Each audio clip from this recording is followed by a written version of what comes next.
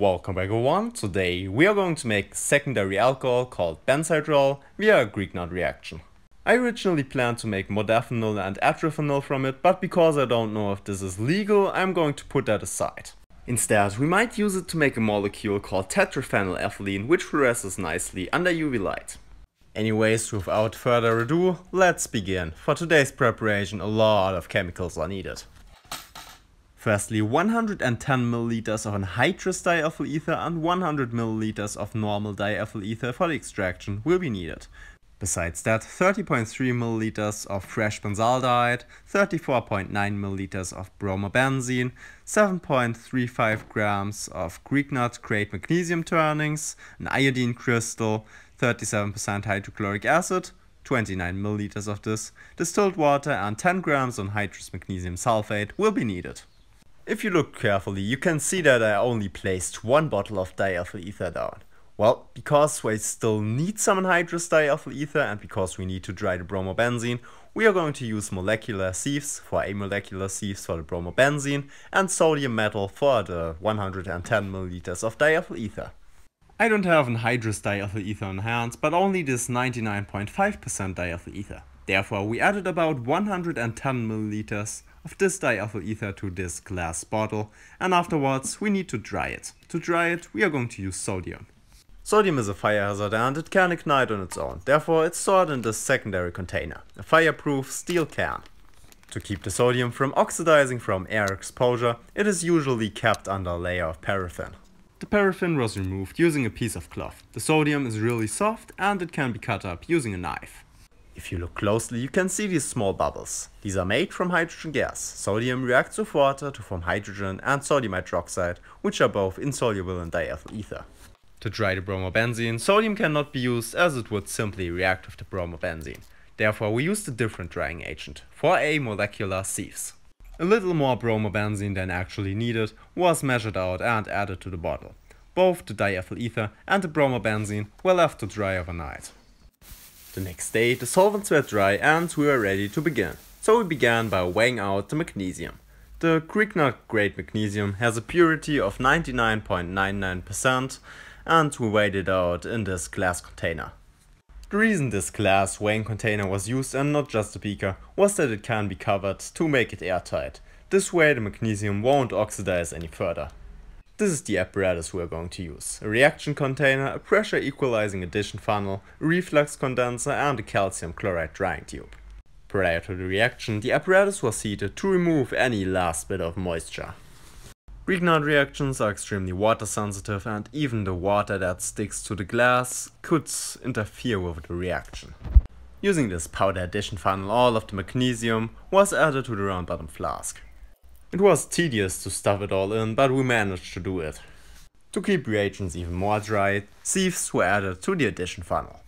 Before proceeding, the reflux condenser was flushed with water. If I don't do it now, I would probably forget it later on and the ether would just escape as a gas. Our bromobenzene after 24 hours of drying is now completely dry and it was added to the pressure equalizing addition funnel.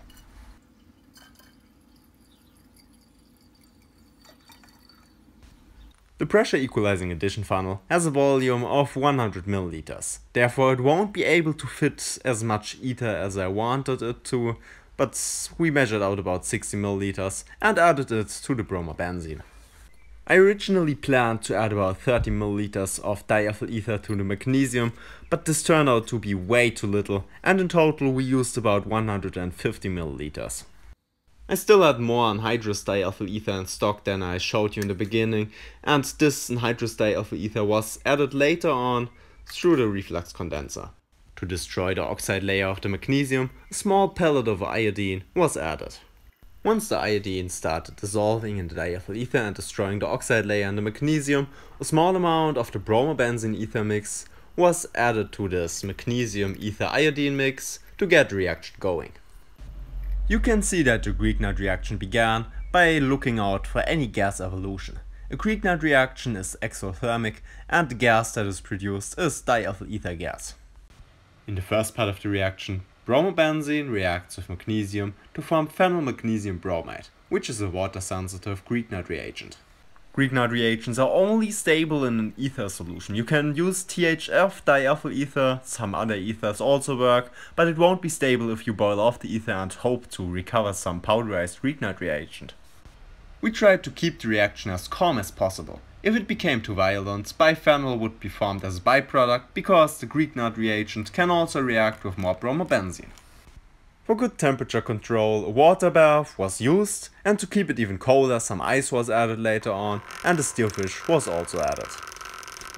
I don't know why, but I cranked stirring up to the maximum because it somehow amused me and it's not going to interfere with the reaction anyways.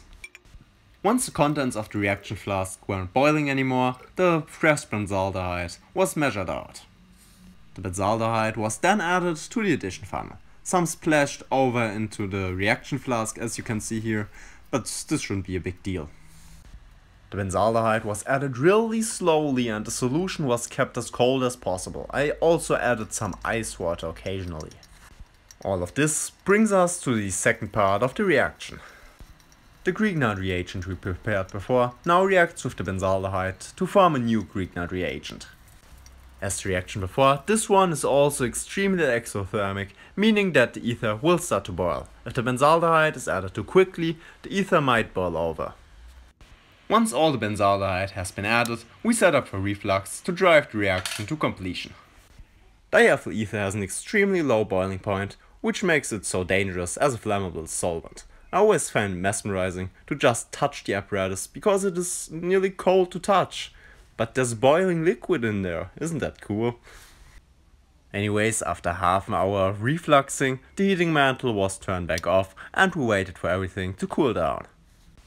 The apparatus was dismantled and this big ass funnel was attached. The round bottom flask was placed into a cold water bath and we slowly added a lot of crushed ice to a ice cold water. During this step our desired benzhydrol and this other insoluble product are formed. To get the insoluble product into solution, we are going to add some dilute hydrochloric acid.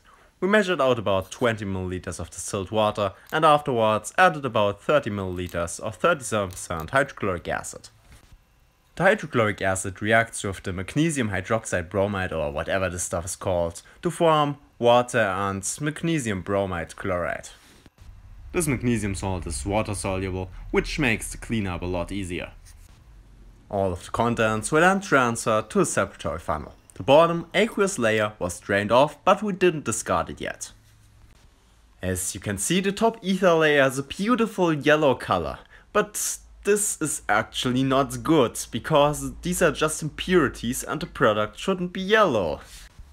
After keeping the ether layer in a separate flask, we decided to get more product out of the aqueous layer. Therefore we added 100 milliliters of ether, shook the funnel, drained off the aqueous layer again and added the ether layer to a different flask.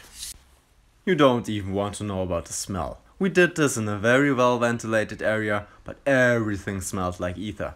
The water layer was washed one last time, using 50 milliliters of diethyl ether this time. Especially with solvents like diethyl ether, it is important to vent the separatory funnel occasionally between shaking sessions. Diethyl ether has a low boiling point and therefore it will build up a lot of pressure. Here you can see all of the ether layers after I combined them.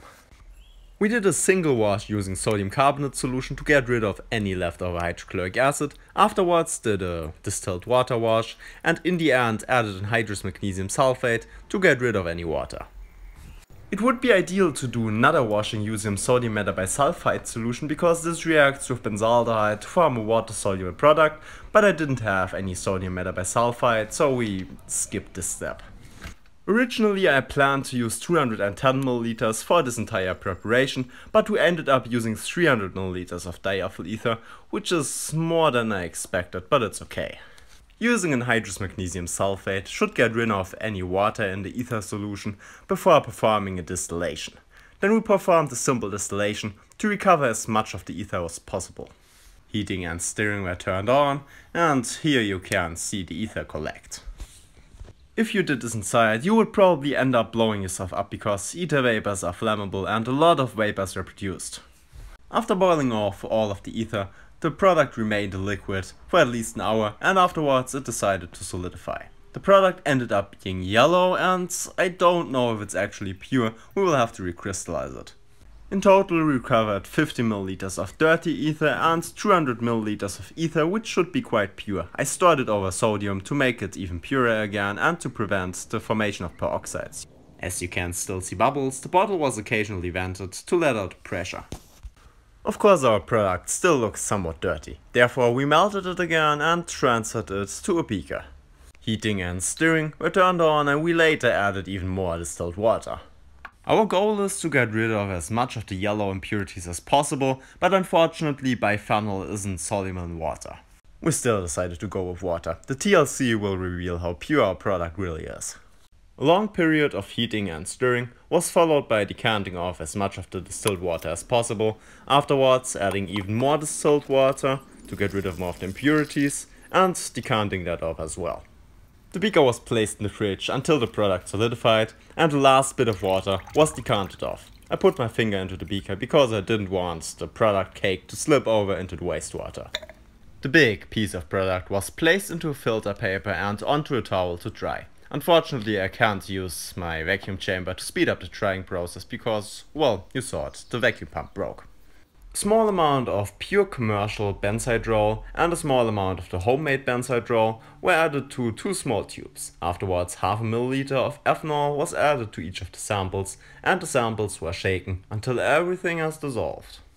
Due to my glass cutter being suboptimal, the TLC plates, well, it didn't look good. My capillaries are also way too big and therefore the TLC spots became huge. For good results, thin capillary tubes and perfectly cut TLC plates should be used. Under UV light you can see the spots. With such big spots you're not going to get good separation, but we should be able to prove that we got benzhydrol. Acetone was added to the speaker and in order to get air saturated with a lot of acetone, the beaker was covered with aluminium foil. Before inserting the TLC plate, the beaker was allowed to stand for 10 minutes. One edge of the TLC plate touched the solvent too early and this is going to interfere with the results. Some of the contents in the TLC spots travel faster than others while the solvent is rising. Under UV lights we will be able to see that. And there you go, the TLC spots are more or less on the same height if we include all of our errors, and this proves that we made benzhydrol. The benzhydrol might be purified even further by recrystallizing it from petroleum ether, but I'm not even going to bother because I now have 500 grams of benzhydrol with a known purity. If you liked today's video, make sure to drop me a like, and if you don't want to miss out on further chemistry content like that, make sure to subscribe. I also have to thank all of my Patreon supporters. You guys make it possible for me to film even cooler projects for you to enjoy. If you want to become a Patreon supporter too, make sure to check the link in the description. I wish all of you a great day, until next time.